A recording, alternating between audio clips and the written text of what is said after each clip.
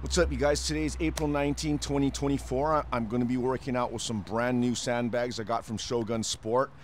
I just filled them up yesterday. I have not used them. They are brand new. So I'm I uh, I'll be experimenting with this. It's a new design. I haven't used sandbags that are um, disc shaped like this, but I'm thinking I can do some pretty cool things with these just based on what they look like. So we'll see.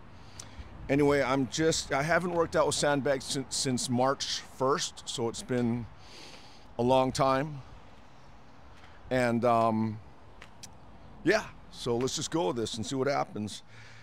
Uh, these are tough for me. Uh, the thing that makes a sandbag really uh, difficult for me is obviously there's no handle to hold on to. So in a way, my body has to become like a giant hand like my arms become fingers, my body becomes the palm.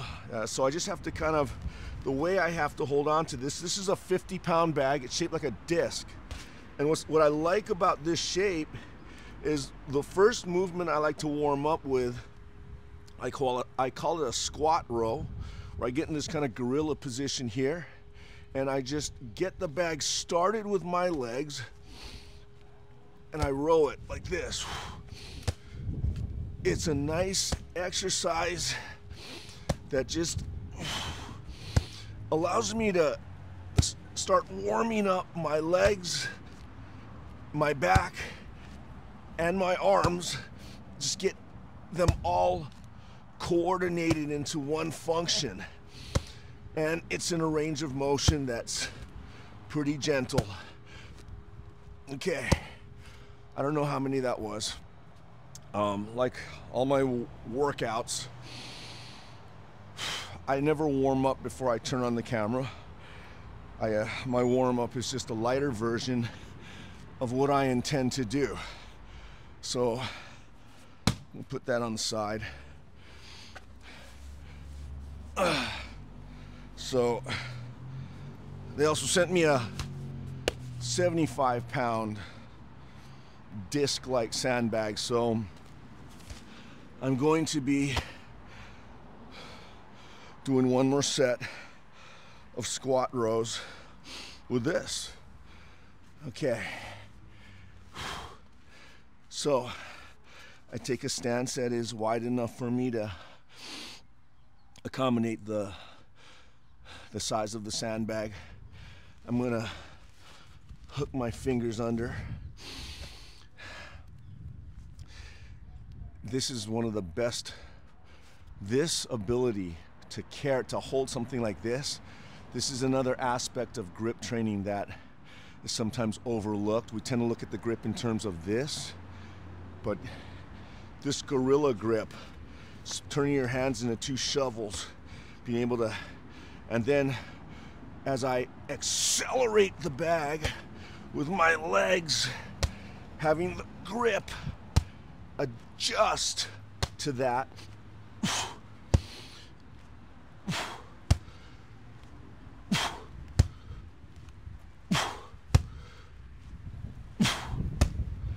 Okay. Once again, if you were counting, um, I wasn't. I have no idea how many reps I did. On my warm-ups, I do just enough work to activate and get everything moving. But I try not to get too, too tired because I like to save that energy for the heavier weight. So we're gonna put the 75 pounder on the side, coming back with the 100 pounder. Now this is no longer disc-like, this is more a traditional sandbag. What I do like about this one though, is these Shogun bags are more round. I've worked with other bags that were very, very good, but they're more cylindrical. To me, a rounder bag, it's just harder for me to hold on to in all angles. And if you're gonna work out with something like a sandbag, the more it resembles a round rock, In my opinion, the better. Okay, same thing, just a few squat rows to connect the legs to the back to the arms. Here we go.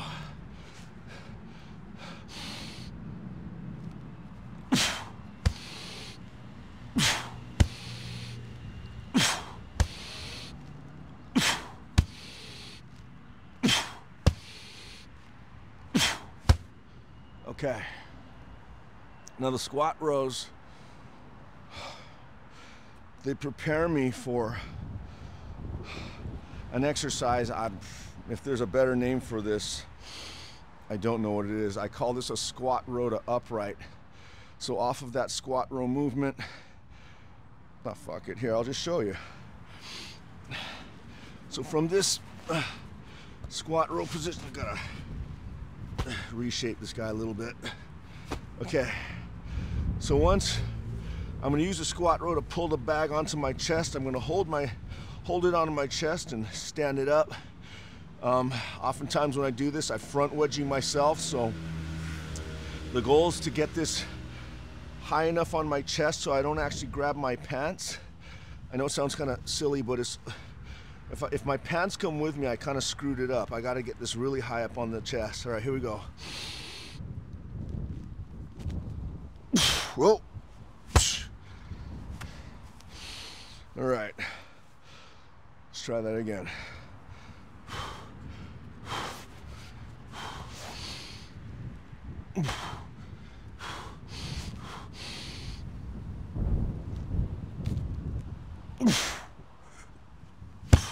Okay.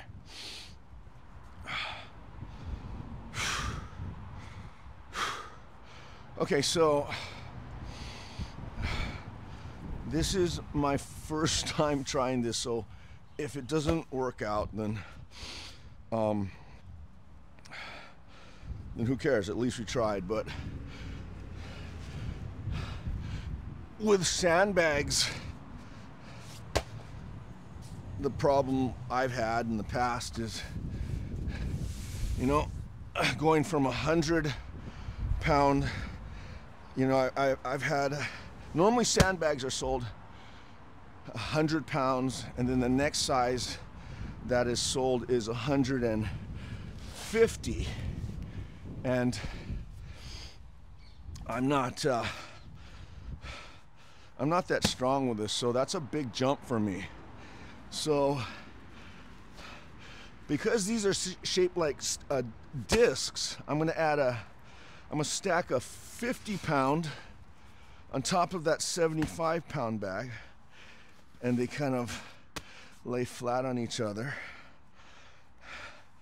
I just wanna see if I can get these two bags onto my chest and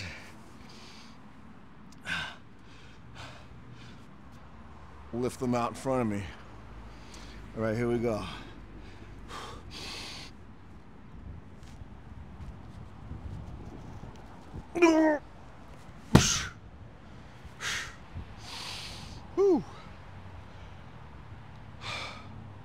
So that was 125 pounds. See if I can do one more.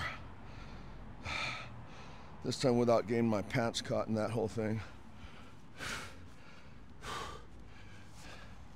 Once again, for me, most of the value of sandbag training is two things training my grip, my forearms, and my adductor ability in the upper body to turn my whole body into like one giant hand.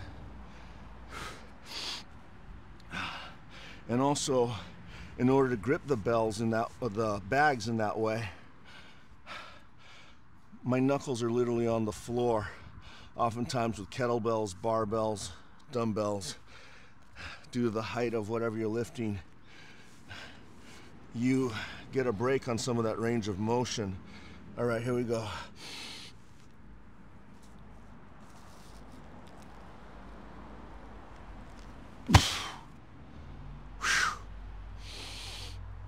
Okay. Man, that's a rush. Okay. That went pretty cool. So, That's 125.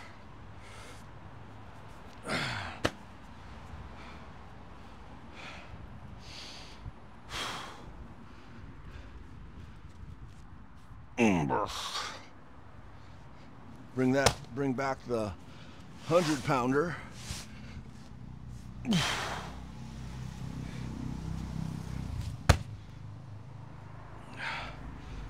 Now, take a moment to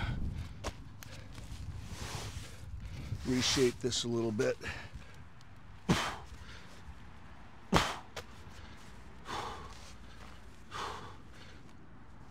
Okay.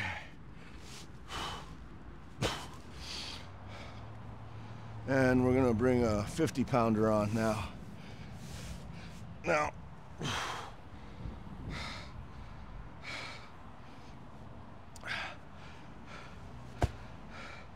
I know the traditional way to bring a sandbag up to the up to shoulder height or just bring it off the floor is to lap it and then bring it up here. And that is always going to be a good exercise, but number one, with two of these sandbags, I don't think I can do that. And once again, I like to see if from the floor I can just stick it to me provide enough integrity to these two bags to then sort of like a, a good morning with a sandbag and with all of this weight out here in front of me it's a very worthwhile challenge. This is a lot for me. I have not done this. So uh, let's see. Shut up and go. Let's go. Okay And this weight, I think, I'll see if I can just.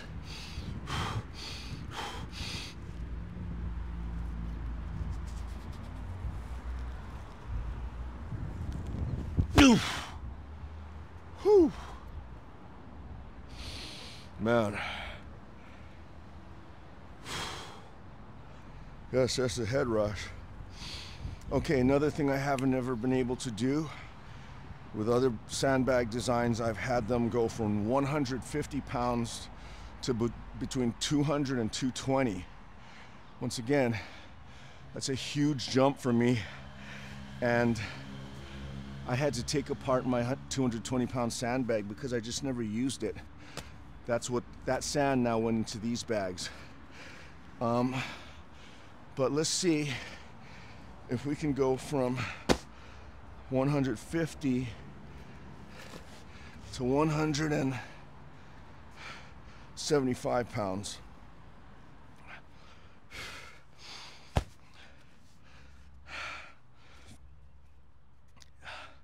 So I guess for me, this is the first adjustable sandbag set I've ever had. And so far, it's working out pretty well. Anyway, let's see if we can get 175. The other day I did a video with a 175 pound dumbbell um, and I was able to lift it with one arm on a deadlift because it has a really nice grip on it but this is a totally different 175 pounds. All right here we go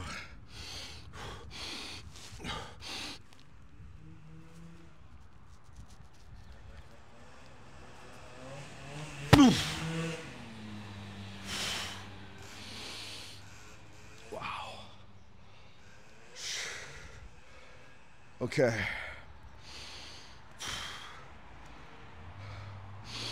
That felt pretty good. 175. Now, all right. Let's uh let's bring out this guy.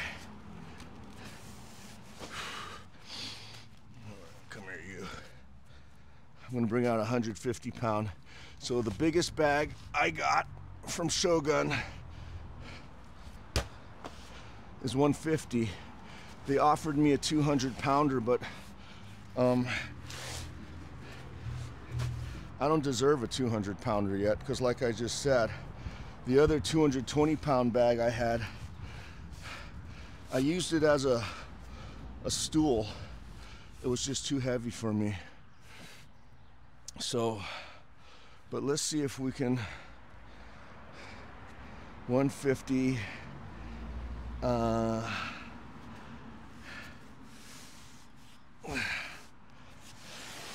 all right so I'm gonna add the 50 pound disc to the 150 allows me to go to 200 so let's see what happens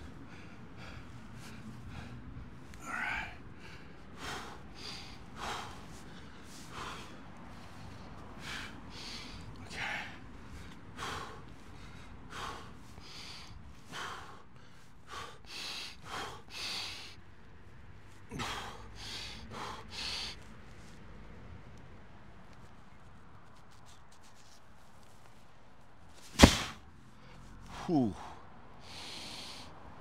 Okay. I was able to get it going, but um, it's interesting having two of these bags because in order for me to extend both of them out in this way,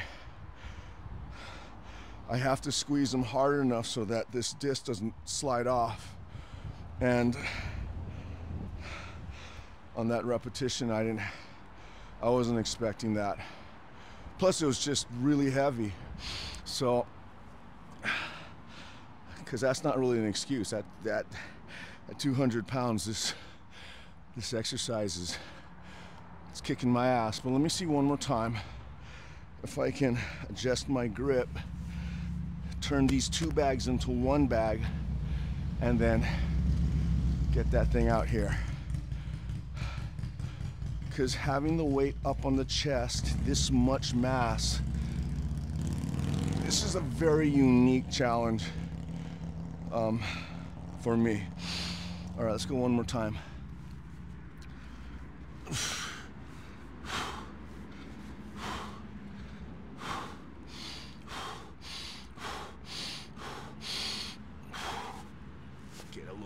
deeper underneath.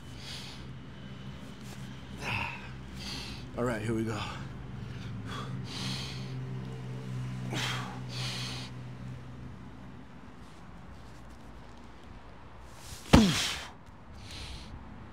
Oh, wow.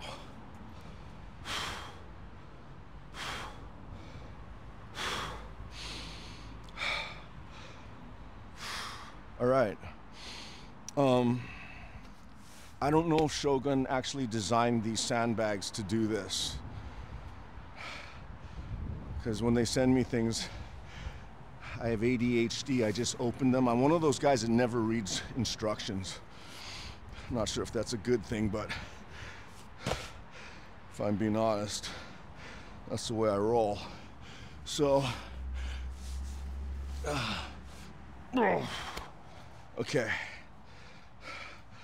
but as a modular or adjustable sandbag set, these seem to work very well in that capacity. Okay, so now I'm adding, got 150, gonna add 75 to that. I am not gonna try the lift. I'm just gonna go for a deadlift as best as I can. Okay.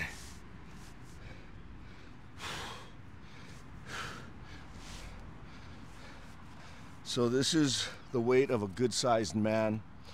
And if I had to pick a guy up um, from the ground to help them out, move them away from some kind of a dangerous situation. This is the grip I'd have to take, and uh, Let's see if I could at least get them off the ground. Here we go.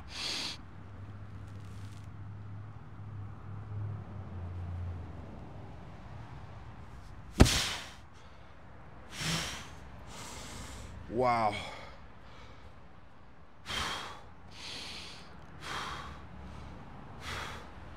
I haven't lifted any sandbag over 200 pounds in perhaps a year.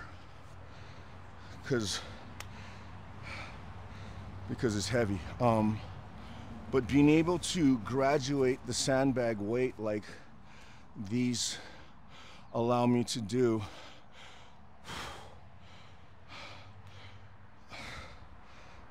it's a it, it this is going to work out very well for me because uh, not being able to warm up to that 200 or 220 pound bag I had before is mostly the reason why I didn't lift it that much. But being able to walk myself up to these weights is that's pretty cool. Okay, so 150 at 225. You know what? What the hell? I'm gonna go one last time here. Let's put the 100 pounder on. And um, I've never lifted a sandbag heavier than 220 pounds. And based on the bulk of this thing, if I can just separate this from the ground, I'll be happy. All right. I don't know how I see. If you you guys got to check out at Dave Man Caveman. That guy's a stone lifter. Every time I do something remotely like this, I think of what that guy does. And you got to see at Dave Man Caveman lift his stones. All right, like I said, if I can just separate this from the earth, I'll be happy. Here we go.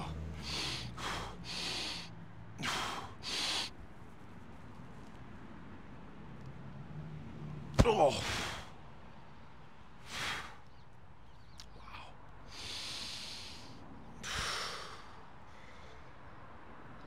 Wow. Holy shit. That was a head rush.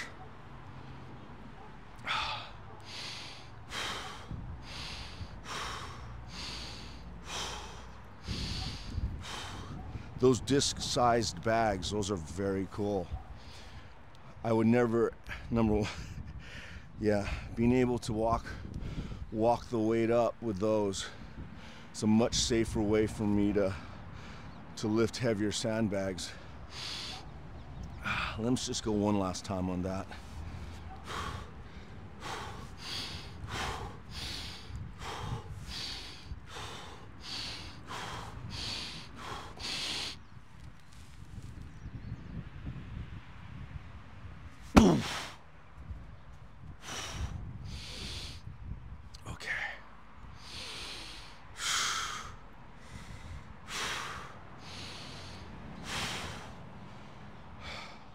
These sandbags, I don't think there's any other implement that I can lift aside from another person that imposes such a physical toll on the totality of the body. There's nothing like these. I do like them. All right. Anyway, today